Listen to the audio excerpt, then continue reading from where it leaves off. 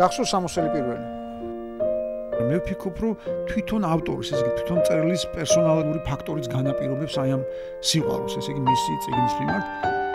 ყველაზე მეტად ამ ნაწარმოებში მიყვარს ყველაფერი ის მეგობრობა, ის რაღაც საოცარი თავგადასავლები და ისი რომ კიდევ დედამიწას სიყვარული ატრიალებს. ჩვენ არ ვიყავით მიჩვეული ამ ჩვენ მშობლიურ ენაზე გქონდა ასეთი ტიპის ლიტერატურა.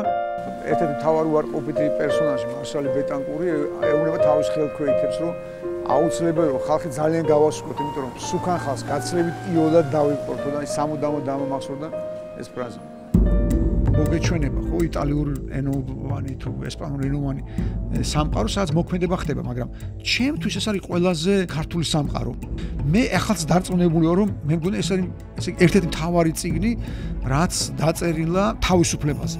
გურამ დოჩანაშვილის სამოსელი პირველი დიდი ლიტერატურული მარათონის ფინალში იბრძოლე, რომ შენი ციგნი იყოს პირველზე.